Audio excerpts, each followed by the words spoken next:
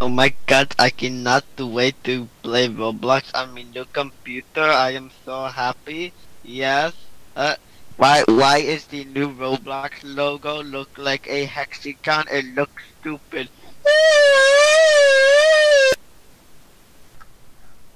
We created the new Roblox Hexagon thingamajig so we can experience platforms and uh, images and imaginations and money and images and imaginations. So if you really like the Roblox symbol, which I really like because it uh, because of the yay. So so does anybody here in the crowd have any questions about the new Roblox symbol? I think it's very gamer. What do you think, young sir? I don't like it. It looks stupid. I hope he die in a hole. Shut the fuck